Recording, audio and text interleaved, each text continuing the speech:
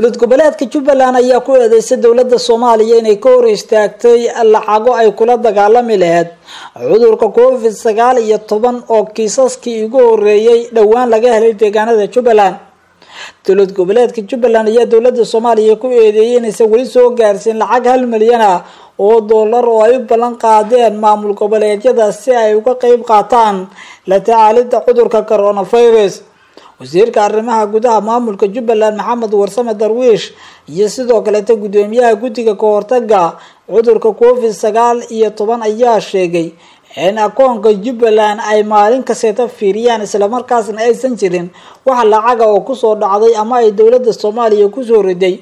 waxa uu sheegay wasiirku in kulan dhinaca internetka oo ku dhex maray ra'iisul wasaare xasan cali kheyre iyo guddiga kahortaga covid sagaal iyo toban uu ra'iisul wasaaruhu weydiiyey lacagta uuna u ballan qaaday maadaama jubbaland aysan awoodin. Lacago ay wax kaga qabato kahortaga cudurka coronavirus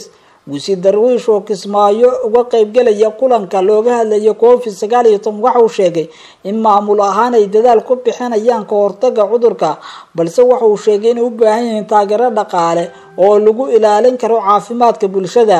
deegaanada jubbaland gaar ahaana magaalada kismaayo waxaa dhowaan laga helay laba kiis oo cudurka coronavirus ah waxaana waro soo baxaya ay sheegayaan labadaasi qofood ay ka baxsadeen xaruntii loogu karantiilay taas oo jubbaland ay u sameysay inay jiraan xarumo kaleete oo la doonayo in la sameeyo si sare loogu qaado la xisaabtanka ciidamada iyo dadka loogu talagalay inay ilaaliyaan dadka la karantiilay ilaa iyo haatan jubbaland war rasmiya kama soo saareen xaalada jubbaland ee ku aadan coronavirus balse waxay dowladda soomaaliya dusha kaga tuurtay eedeyn ku aadan inay dowladda isurisaag ay ku sameyneyso dhaqaalihii jubbaland ee ay kula dacaali lahayd cudurka covid sagaal iyo toban oo isagu gudaha soomaaliya iminka ku sii faafaya. Dhowaan ra'iisul wasaaraha qaranka ayaa madaxda maamul goboleedyada ugu baaqay inay meel iska dhigaan arrimaha khilaafaadka kala dhexeeya madaxda dowladda soomaaliya ayna u soo wada jeestaan sidii loola dagaalami lahaa cudurka coronavirus waxauna ra'iisul wasaaruhu ballan qaaday in maamul goboleed kaseeta la sii doono hal milyan oo dollar taas oo maamulka jubbaland uu sheegay ilaa iyo haatan inaan la soo gaarsiin isagoo madaxda dowladda soomaaliya ugu baaqay inay qaadaan tallaabo muhiim u ah sidii lacagtaasi loo soo gaarsiin lahaa maamul goboleedyada gaar ahaana jubbaland oo iyadoo la daalaadhacaysa dhaqaale yari baasan iyo cudurka oo deegaanadeeda laga helay xukuumadda somalilan gaar ahaana madaxweyne muuse biixi cabdi ayaa sheegay inuu isla xisaabtan ballaaran ku sameyn doono cid walba oo hantida somalilan meel marisa inay si gaara ugu adeegato. Wuxuuna sheegay inay qaadi doonaan tallaabooyin isla xisaabtan ah cid kasteetana hantideeda aan lagu dulma dooninba si aan la yeeli doonin in hantida shacabka si qaldan loo adeegsado. Madaxweyne muuse biixi cabdi ayaa sheegay in isla xisaabtanku yahay midka kaliya oo dadku ay cadaalad ku heli karaan loona baahan yahay in tallaabadaasi ay noqoto mid ka hirgashaa tillaabada lagu hakiyay dhismayaasha mas'uuliyiinta ayaa muujinaya xukuumadda madaxweyne muuse biixi cabdi inay qaadayso tallaabooyin wax ka hoole oo la xiriira ka hortaga musuq maasuqa iyo sidoo kaleeta wax isdabamarinta tirada dhimashada iyo kiisaska uu soo radanaya cudurka coronavirus ayaa korortay gudaha soomaaliya wasaaradda caafimaadka dowladda soomaaliya ayaa soo saartay warbixinteedii afar iyo labaatankii saacba ay kaga hadlaysay arrimaha karonaha ee soomaaliya. Waxayna sheegtay inay kordheen dhimashada iyo sidoo kaleta kiisaska cudurka coronavirus ee laga helay gudaha soomaaliya lix qofood ayaa la sheegay. In labaatan iyo afartii saac ee la soo dhaafay ay u geeriyoodeen islamarkaasna xanuunka ay tirada guud ee u geeriyootay gudaha soomaaliya ay gaarayso ilaa iyo saddex iyo toban ruux sida ay sheegtay wasaaradda caafimaadka dowladda soomaaliya. Sidoo kaleeta afartan iyo sagaal qofood ayaa la diiwaan geliyey inay qabaan cudurka coronavirus sida ay sheegtay warbixinta ay soo saartay dowladdu soddon ka mid a afartan iyo sagaalka cudurka laga helay waa rag islamarkaasna waxaa sagaal iyo tobanka kaleeta ay yihiin dumar sida ay dowladda soomaaliya sheegtay. Warbixinta ka soo baxda wasaaradda caafimaadka dowladda soomaaliya sidoo kaleta waxaa lagu sheegay in laba qofood ay ka soo bogsato xanuunka waxayna noqonaysaa tiradii ugu badneed ee soo bogsata oo hal maalina la shaaciyo tirada guud ee gudaha soomaaliya dadka laga helay coronavirus ayaa waxay gaaraysaa laba boqol siddeetan iyo lix kiis waxaana u geeriyootay in ka badan toban ruux iyadoo ay soo bogsadeen ilaa iyo lix ruux.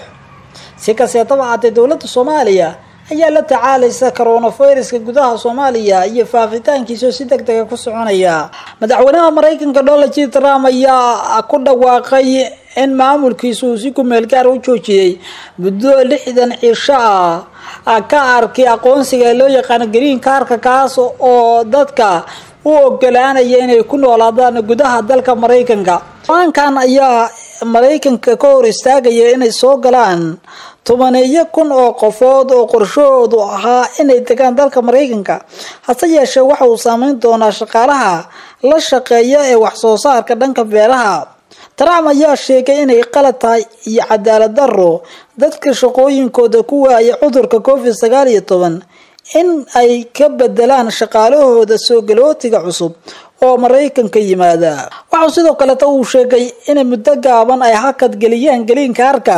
oo xal iyo dhowrsanaansho u noqon doona nidaamka caafimaad ee wadanka oo hadda uu la tacaalayo cudurka coronavirus. Madaxweyne trump ayaana sheegay inuu filayo in sharciga uu saxiixi doono arbacada. Dadka dhaliila siyaasadiisa ayaa sheegaya in sababta uu madaxweynuhu u hakiyey soo saarista green kaarka ay tahay inuu mar kaleeta soo jiito taageerayaashiisa xilli uu wajahayo doorashada madaxtinimada dalkaasi ka dhici doonta bisha nofembar ugu dambeyntiina diyaaradaha dagaalka wadanka israel ayaa duqeyn culus ka fuliyey syria waxayna ku dileen sagaal dagaalyahaan oo ay ku jiraan lix aan ahayn.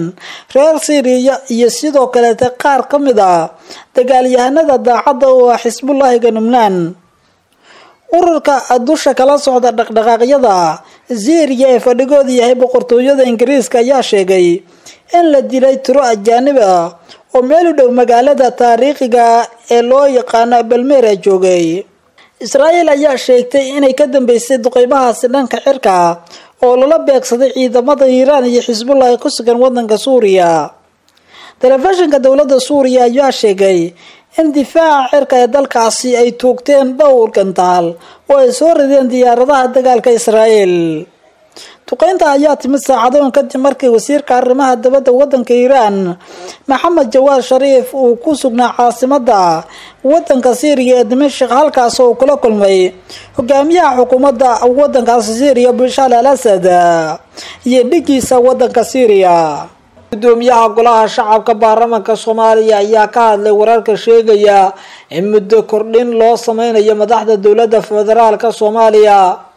gudoomiyaha golaha shacabka baarlamanka soomaaliya ayaa ka hadlay walaaca laga qabo dib u dhigista furitaanka kale fadhiga baarlamanka soomaaliya inuu horseedi karo dib u dhac ku yimaada doorashada soomaaliya. Saameynta ka dhalata cudurka coronavirus ayaa gaartay in la hakiye hawshii baarlamanka taas oo tubdhexaad u ahayd doorashooyinka soomaaliya ee sanadka laba kun iyo labaatan iyo kowda. Hase yeeshee gudoomiyaha golaha shacabka baarlamanka soomaaliya maxamed mursal sheekh cabdiraxmaan waxa uu ku adkeysanaya in xal loo heli doono sidii doorasho xilligeedii loogu qaban lahaa. Waxa uu sheegay in dadku loo baahan yahay inay kala fahmaan hal qodob oo ah in baarlamanka golaha shacabka iyo aqalka sare ay muddooyinkii ugu dambeeyey aanu ka soo gudoobnay oo ay ugu dambeysay sannadkii laba kun iyo lix iyo tobankii. Doorashadooda ay aadi jireen waxayna ahayd doorasho dadban marka waxaan doorashadaasi ay ahayd mid lagu dooranaya laba boqol toddobaatan iyo shan xildhibaan oo golaha shacabka iyo konton iyo afar aqalka sare ah sidaasi awgeedna ilaa iyo haatan xal loo weymaayo tillaabooyinka doorasho ee la qaadayo ayuu yiri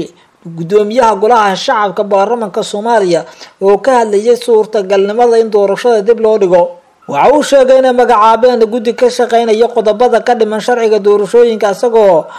sheegay inay ka shaqeynayaan guddiga madaxa bannaan ee doorashooyinkana. Hawshiisana way wataan inkasteeto arrinta coronavirus ay saamixi weysa shaqooyin qaar laakiin shaqo fiican ayay qabteen ilaa iyo haatan waxaana aaminsanahay inay soo dhammaystiri doonaan waqtiga loogu talagalay ay doorashadu ku dhici doonto